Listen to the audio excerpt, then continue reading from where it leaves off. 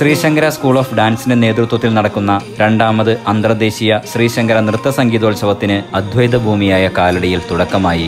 അഞ്ചു ദിവസങ്ങളിലായി നടക്കുന്ന നൃത്ത സംഗീതോത്സവം ഇരുപത്തിയാറിന് സമാപിക്കും. ഇന്ത്യക്കകത്തും പുറത്തുനിന്നുമായി അഞ്ഞൂറോളം കലാകാരന്മാരും കലാകാരികളും വിവിധ നൃത്ത സംഗീത പരിപാടികൾ അവതരിപ്പിക്കും.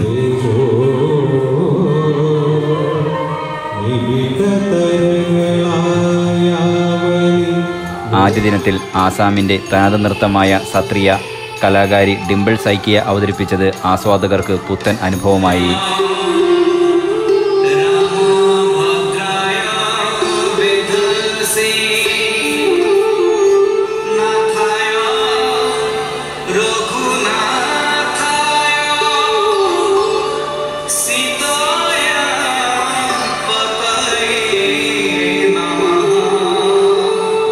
മെഗാ ഗ്രൂപ്പ് ഇനങ്ങളും യുവ നർത്തകി പാർവതി മേനോന്റെ കുച്ചിപ്പിടിയും നേപ്പാളിൽ നിന്നുള്ള കലാകാരൻ സോജൻ രഘുഭാഷയുടെ നേപ്പാളി നൃത്തവും അരങ്ങേറി.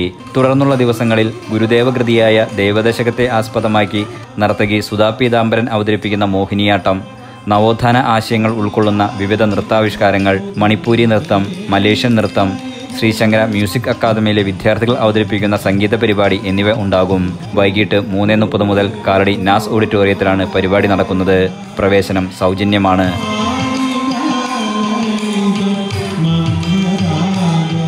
L I news Angamaly.